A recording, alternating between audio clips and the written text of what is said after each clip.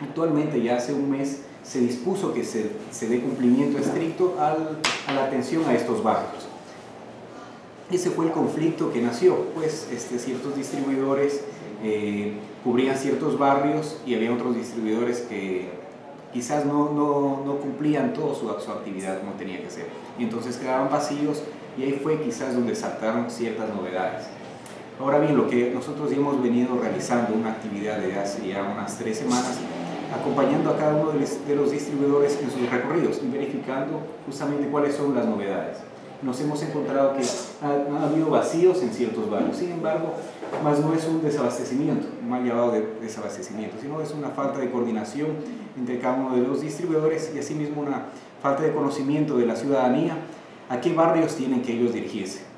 Claro, este, eso aproximadamente hace más de, un mes pues se, trabajó con los distribuidores y se les indicó que se tiene que trabajar eh, cumpliendo realmente los, los barrios. Entonces ahí fue donde salieron esas alarmas, pero básicamente eso actualmente está cubierto. Es importante, yo pido más bien a la comunidad que socialicen, que se informen con los, eh, con los distribuidores. En cada centro de distribución está pegado, digamos, los barrios a, las cuales, eh, a las cuales ellos pertenecen, a los cuales ellos van a abastecer, los días, así mismo.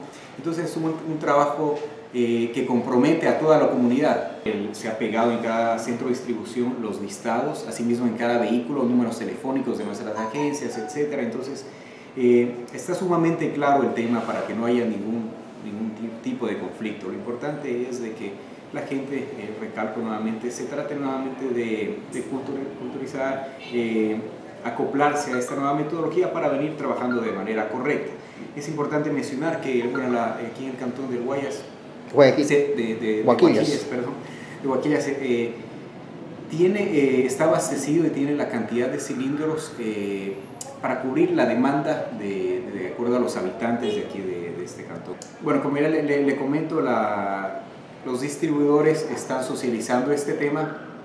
He venido aquí a, la, a, los medios de comunicación asimismo para ponerles en conocimiento y más luego les voy a pasar un listado de los, de, de los barrios por cada distribuidor y bueno, les quería comentar asimismo el tema de tarjetas inteligentes que ustedes eh, son habitantes de aquí, de este cantón. Pues este sistema se va a fortalecer, pues nos, se ha nos hemos dado cuenta que quizás existe cierta falencia porque sabemos que es un sistema tecnológico y no es 100% desconfiable. Cualquier equipo tecnológico sabemos que puede tener su, su error, su falencia. Entonces nosotros ya estamos trabajando eso como agencia de regulación y control hidrocarburífero Estamos trabajando para fortalecer, fortalecer estos sistemas. Y ya se ha venido trabajando ya hace bastantes años, ¿no es cierto? Es una, una metodología, los distribuidores están prestos a, a, colaborar, existen números telefónicos de cada uno de los, de, de, de los distribuidores, eh, los usuarios pueden llamar, eh, o sea, es una atención totalmente diferente. Carlos Hernández, permítame por favor, en una versión periodística anterior usted supo manifestar que el, el cilindro de gas en, en bodega tiene un costo de 2 dólares. Ahora escucho que es dólar 60. Un poquito para aclarar a la comunidad. ¿Dos dólares o un dólar 60? Ya, en bodega. El, precio, eh, de acuerdo al decreto ejecutivo y al, de acuerdo al marco legal, es el, el, precio oficial es de un dólar 60. Nosotros como agencia de regulación hidrocarburífero lo que hacemos es velar porque se dé ese cumplimiento de acuerdo a la normativa actual legal.